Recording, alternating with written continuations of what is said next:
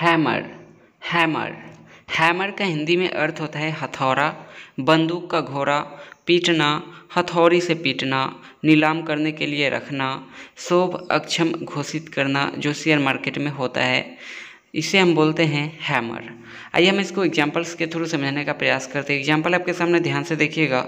A good anvil does not fear the hammer एक अच्छी निहाई हथौड़े से नहीं डरती। दूसरा एग्ज़ाम्पल आपके सामने। He waste over the head with a hammer उसने उसके सिर पर हथौड़े से वार किया। तो आई होप आपको ये हैमर का हिंदी में अर्थ और इसका यूज़ आपको क्लियर हो गया होगा।